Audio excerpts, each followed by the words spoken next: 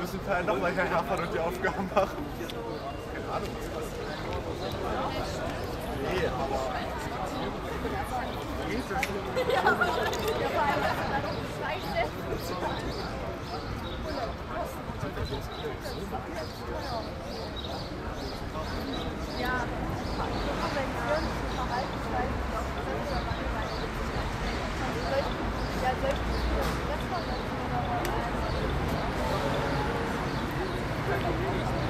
Ja, am Ende werden wir dann zum Orakel schreiten.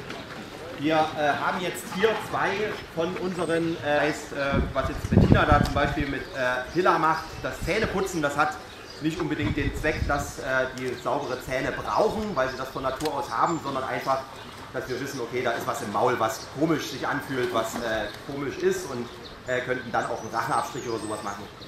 Ronja daneben mit Sissy auch beherrschen würden, ähm, denn Sissy ist es gerade äh, ein großes Anliegen, Sachen aus dem Wasser rauszufischen, die nicht da reingehören. Ähm, und da kommt man natürlich unweigerlich auf dieses große Thema Umweltverschmutzung, Meeresverschmutzung mit Plastik, mit Geisternetzen, mit all diesen Sachen, die sehr gefährlich sind natürlich für die Tiere in freier Wildbahn.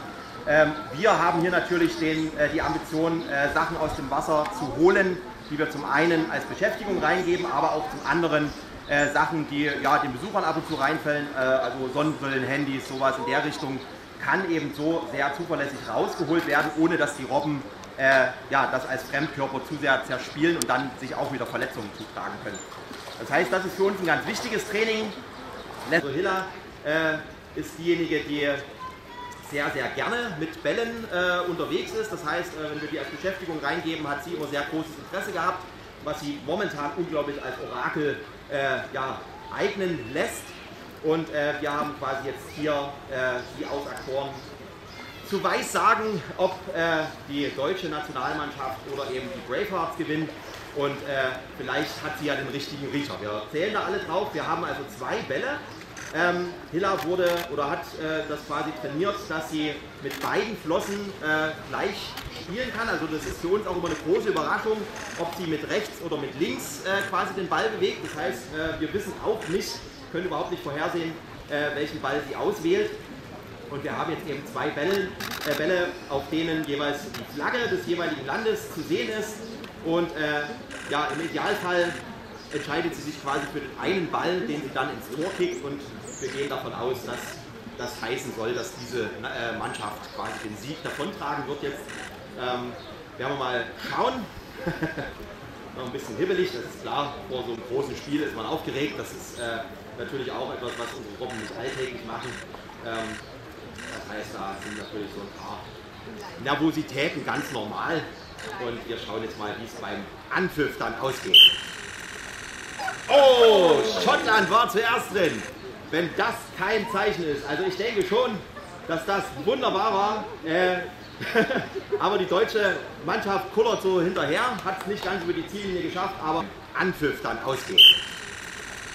Oh, Schottland war zuerst drin.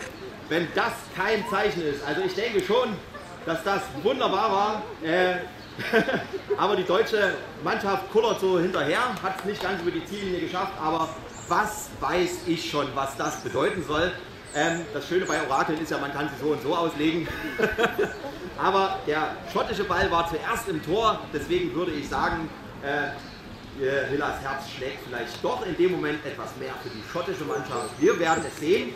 Ähm, jetzt hat Hilla quasi äh, diese Übung bestanden.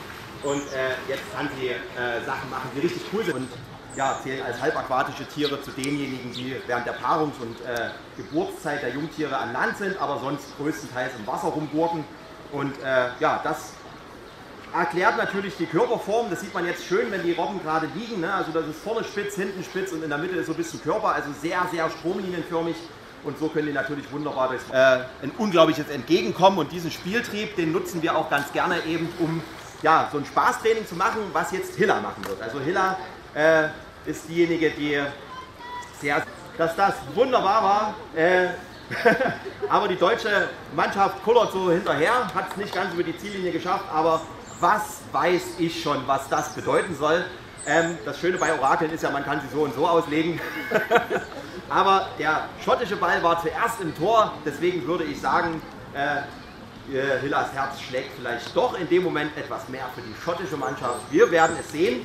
Ähm, jetzt hat Hilla quasi äh, diese Übung bestanden und äh, jetzt kann sie äh, Sachen machen, die richtig cool sind. Also wir versuchen immer die Trainingseinheiten, die wir hier haben, möglichst cool zu beenden. Also für die Robben sehr, sehr positiv. Ähm, das steigert die, äh, deutlich die, den Enthusiasmus für das nächste Training, ähm, sodass wir da äh, darauf bauen können, dass die Tiere wieder äh, super cool mitmachen. Und Hilla sieht man jetzt da hinten, ist eine unglaubliche Wasserratte, die sehr, sehr gerne springt, die wahnsinnig viele Sachen im Wasser auch von sich aus anbietet. Und da kann man sie wunderbar belohnen, indem man sie jetzt quasi hinterher ins Wasser schickt und sie kann da ein bisschen rumhuppen äh, und quasi